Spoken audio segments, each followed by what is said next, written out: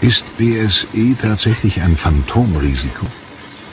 Wir sind in Mainz, Labor für Mikrobiologie. Hier werden alle möglichen Infektionskrankheiten untersucht.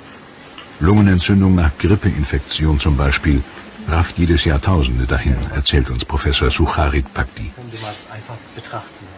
BSE dagegen hat in Deutschland noch keinen einzigen Menschen das Leben gekostet.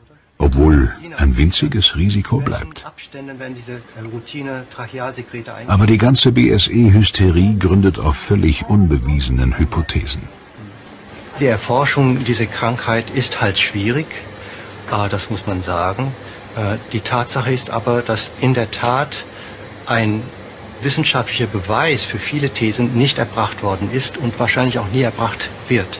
Insbesondere, und das möchte ich gerne betonen, der Nachweis, dass BSE positiv testende Rinder, die aber klinisch gesund sind, überhaupt imstande sind, die Krankheit weiterzugeben, ist nie erbracht worden. Das heißt, die Testung von gesunden Rindern ist im Prinzip sinnlos. Warum wird sie trotzdem gemacht? Ja, das würde ich gerne auch die Zuständigen fragen. Ähm, es gibt eigentlich keine wirklich stichhaltigen Gründe dafür. Tests sind kein schlechtes Geschäft und viele Institute beteiligt. Niemand hat Interesse bei BSE Entwarnung zu geben.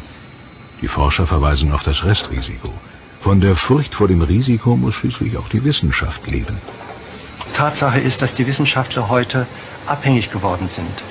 Sie sind wirklich äh, fast gezwungen, das zu machen, was in Gänsefüßen in ist, was die Politik, die Bevölkerung erwartet.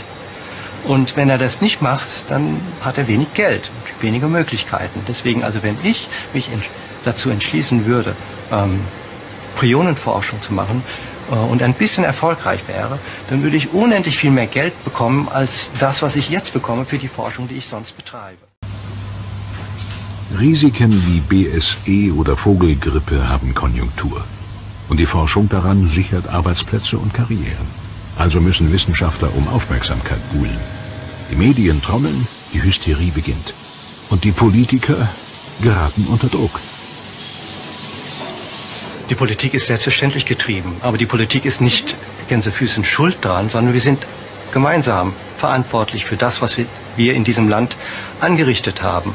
Wenn die Wissenschaft und die Gesellschaft und die Politik eine Meinung ist, dass man das alles machen muss, dann wird es gemacht. Und das ist das, was passiert. Es muss also wirklich jetzt ähm, die ganze Sache hinterfragt werden, nach all diesen Jahren, ob das, was wir, ich sage wir, für Sie hauptsächlich, weil ich war immer dagegen, äh, ob das richtig gewesen ist. Und wenn das nicht richtig gewesen ist, dann müssen wir den Mut haben, das jetzt hier und jetzt zu korrigieren.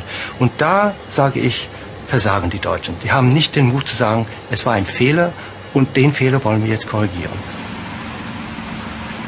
Nichts ist bewiesen. Keine Erkrankung, kein Opfer.